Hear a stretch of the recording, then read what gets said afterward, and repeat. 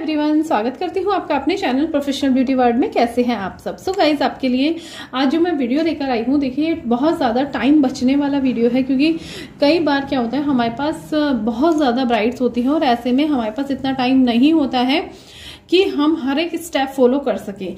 और ये पार्लर्स में सीक्रेटली ये वाला बेस बनाया जाता है ताकि आपके क्लाइंट को पता ना चले कि आपने क्या यूज़ किया है। तो अगर आप भी ऐसा कुछ चाहते हैं, क्योंकि देखिए इसके पीछे क्या रीजंस होते हैं, वो मैं आपको आगे वीडियो में बताऊँगी। लेकिन ये बेस बना के हमको बहुत ज़्यादा फ़ायदा होने वाला है, क्योंकि इससे हमारा टाइम बहुत ज़्यादा बच जाता है। और हम क्यों बनाते हैं, इससे हमको और क्या प्रॉफिट है, ये भी मैं आपको बताऊँगी। लेकिन उससे पहले हम एक बार देख लेते हैं कि हम किस तरह से ये बेस रेडी करते हैं। सो so, वीडियो स्टार्ट करते हैं। तो उससे देखिए सबसे पहले मैं आपको बता दूँ कि आपको एक एक प्रोडक्ट बहुत ही बारीकी से देखना है कि मैं कितनी क्वांटिटी मिक्स कर रही हूँ। क्योंकि देखिए क्वांटिटी आपकी उसी के अकॉर्डिंग होनी चाहिए। प्रोडक्ट आप कौन सा क्या लेंगे ये मैं आपको बता दूँगी। सो so, उसके अकॉर्डिंग आप ले सकते हैं। अब मैं आपको चॉइस भी बताऊँगी इसमें सब्सिट्यूट भी बताऊँगी कि आपके पास अगर कोई प्रोडक्ट नहीं है तो आप उसमें क्या ऐड कर सकते हैं। सो so, वीडियो पूरा देखिएगा वीडियो अच्छा लगे तो वीडियो को लाइक कर देना शेयर कर देना और चैनल को सब्सक्राइब ज़रूर कर लेना। सो so, देखिए कई बार क्या होता है कि जैसे किसी के पास कोई भी आपका आप जैसे सलोन में काम करते हैं या फिर आप सेल्फ के लिए कर रहे हैं आपको किसी घर में मेकअप करना है और आपका स्किन टोन भी सेम नहीं है और सिर्फ़ आपके पास आपके ही स्किन टोन का प्रोडक्ट है। लाइक अभी देखिए, मैं कोई भी डार्क कलर का शेड लेती हूँ। लाइक like मेरे पास ये डार्क कलर का शेड है, ठीक है? मैं इसी से आज कस्टमाइज बेस बनाऊँगी और इसी से मैं आपको बताऊँगी कि आप सभी स्किन टोन पर कैसे वर्क करेंगे, ठीक है? सो वीडियो पूरा देखना और हम देखेंगे किस तरह से हम कस्टमाइज बेस रेडी करेंगे जिससे कि आपका टाइम का बहुत ज़्यादा बचत हो जाएगा।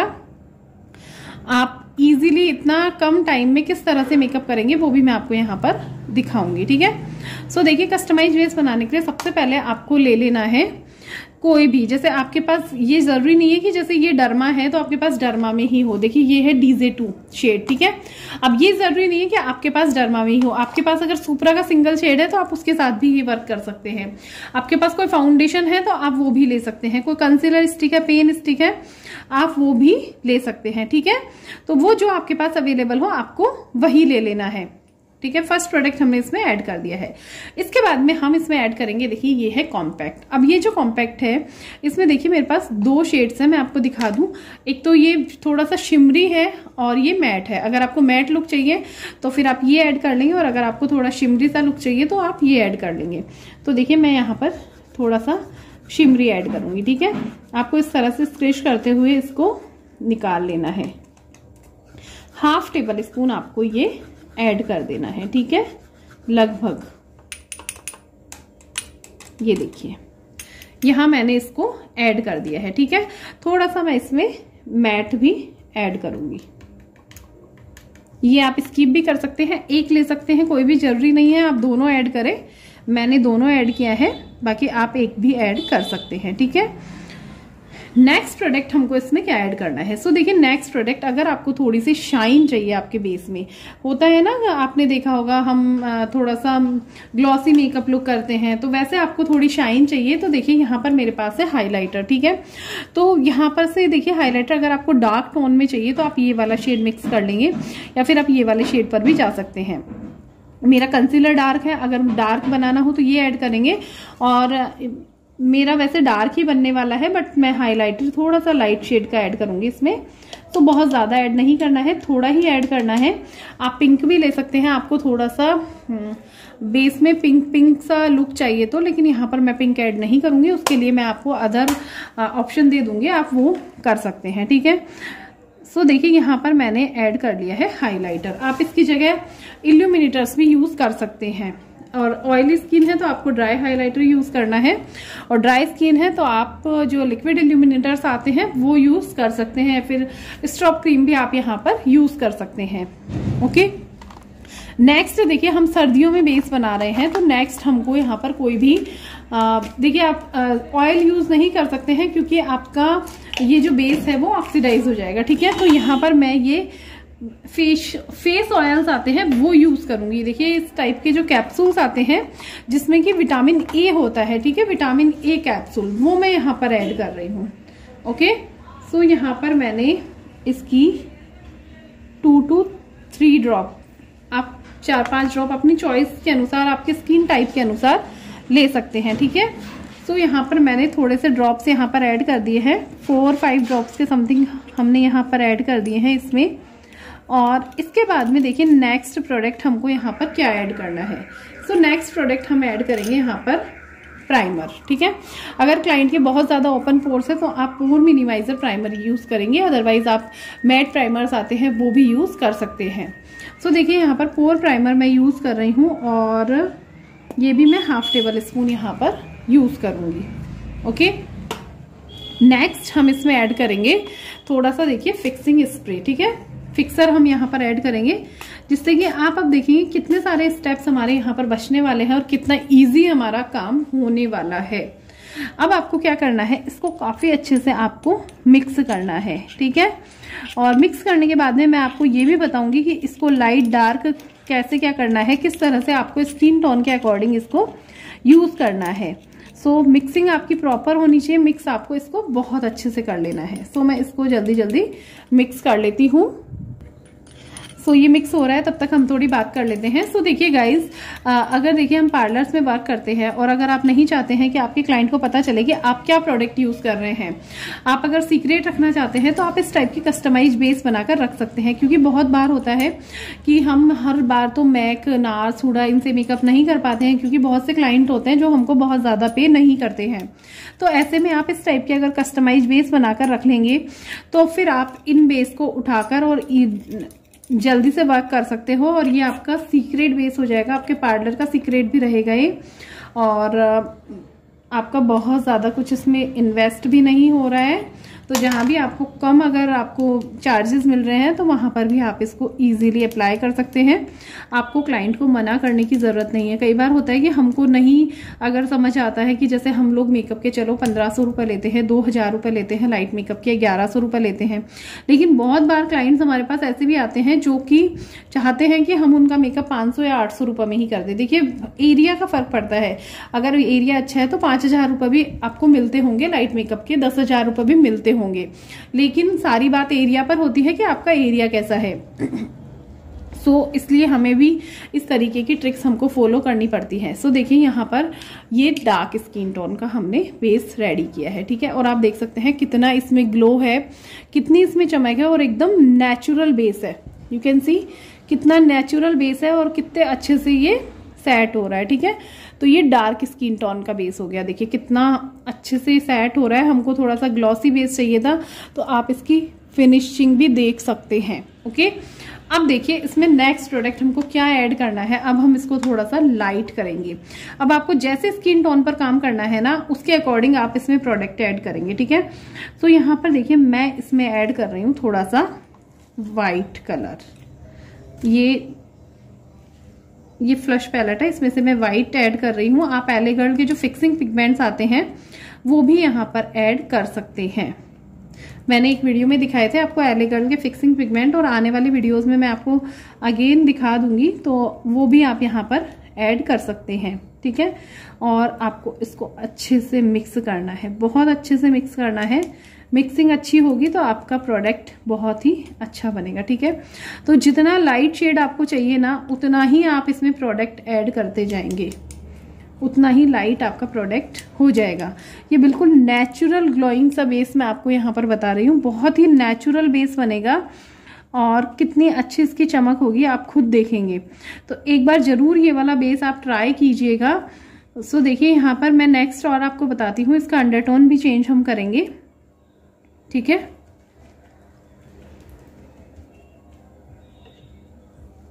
सो आपको इसको अच्छे से मिक्स करना है। और मिक्स करने के बाद में देखिए, यहाँ पर मैं आपको दिखाती हूँ।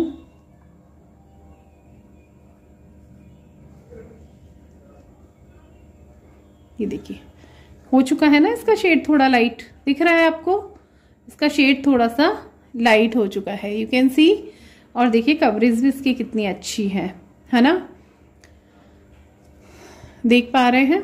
अभी देखिए, आपको इसको अगर कूल अंडरटोन में कन्वर्ट करना है, मैं कूल में कन्वर्ट करूँगी, उसके बाद में मैं इसको वॉर्म में कन्वर्ट करूँगी, ठीक है? सो थोड़ा सा इसमें हमको ऐड करना है blue and red okay mixing अच्छे से करनी है।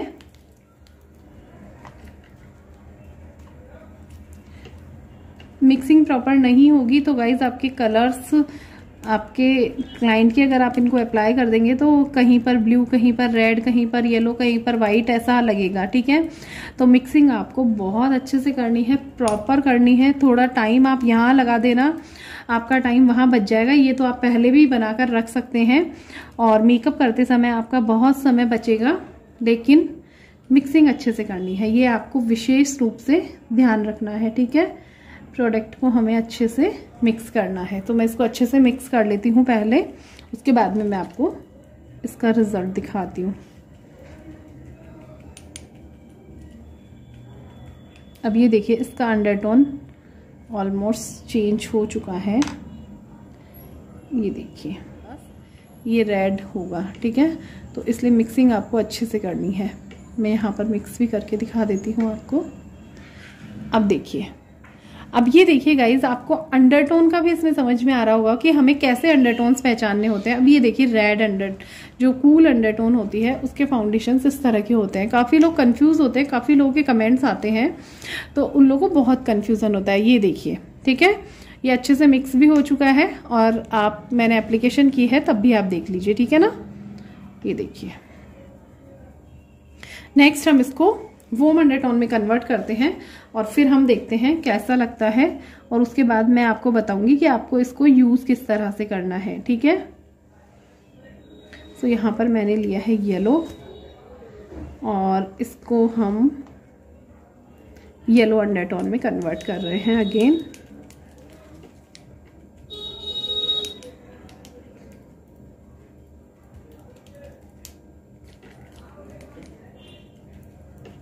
मिक्सिंग अच्छे से करनी है, मैं आपको वापस बोल देती हूँ, मिक्सिंग आपकी प्रॉपर होनी चाहिए, ठीक है?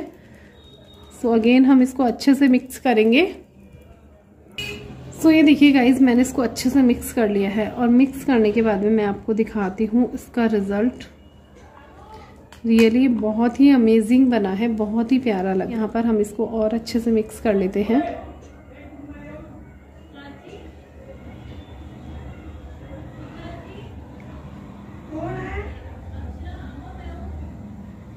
ये देखिए। अब आपको फ़र्क नज़र आ रहा है yellow undertone and cool undertone आ रहा है डिफरेंस आई थिंक विजिबल हो रहा है आपको अच्छे से। ये देखिए।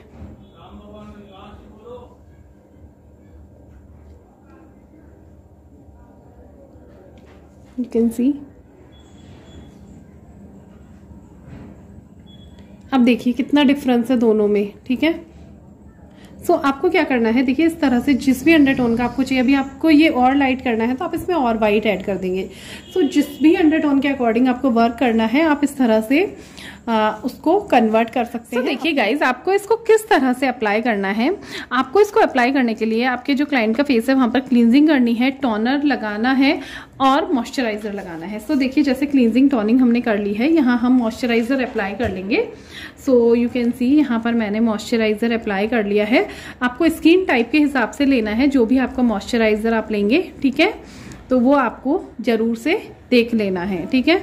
क्योंकि स्किन टाइप का ध्यान रखना बहुत ज़रूरी है। स्किन प्रैप हमारी अच्छी होगी तो हमारा मेकअप बहुत अच्छा हो जाएगा ठीक है? सो so, यहाँ पर देखिए उसके बाद में आपको क्या करना है? देखिए इसमें प्राइमर भी हमको स्कीप कर देना है। बहुत ज़्यादा ही क्लाइंट की अगर ओपन पोर्स हैं तब आपको एक्स्ट्रा भी प्राइमर लगाना है। अदरवाइज़ हमारे प्रोडक्ट में हमारे पास प्राइमर है तो हमको प्राइमर स्कीप कर देना है। और देखिए किस तरह से ये ग्लोइंग बेस हमारा बनकर रेडी हो गया है। और बस इसको ऑल ओवर फेस पर आपको अप्लाई कर देना है। ठीक है? ऑल ओवर फेस पर आपको इस तरह से अप्लाई कर देना है। देखिए, मैं इसको और लाइट कर लेती। अगर वाइट मैं इसमें और ऐड करती, लेकिन मुझे इसको लाइट नहीं करना है, अभी बस मुझे इसको इसी तरह से यूज़ करना है। ठीक है? और कोई भी आपको वेट ब्यूटी ब्लेंडर लेना है, और इसको डैब डैब करते हुए आपको ब्लेंड कर देना है, ठीक है? सो इस तरह से देखिए आपको इसको ब्लेंड कर देना है। मैं आपको दिखा देती हूँ। ये देखिए, इसका कवरेज भी आप देखिए कितना अच्छा कवरेज है, जबकि हमने इसमें कितने सारे लिक्विड प्रोडक्ट ऐड किए हैं, लेकिन उसके बाद भी आप इसका कवरेज देख सकते हैं और कितना नेचुरल बेस है, ठीक है? अगर आप और नेचुरल चाहते हैं तो प्रोडक्ट थोड़ा सा कम अप्लाई कीजिए लेयर्स आप थोड़ी सी कम डालिए। और अगर आपको अच्छा खासा मेकअप पसंद है तो आप थोड़ी लेयर्स आप दो तीन ऐड कर सकते हैं, ठीक है? तो वो आप पर डिपेंड करता है। अब ये देखिए कितना ग्लॉसी और कितना चमक चमक बेस बना है। बिल्कुल कितनी शाइन है अच्छी और कितने अच्छे से ये सेट हो रहा है, ठीक है? सो आपको इसको अच्छे से सेट करना है, अच्छे से ब्लेंड करना है। और उसके बाद में देखिए आपको क्या करना है? ये कॉम्पैक्ट हमको लेना है। और इससे हमको इसको अच्छे से लॉक कर देना है। ये देखिए, इस तरह से आपको इसको अच्छे से लॉक कर देना है।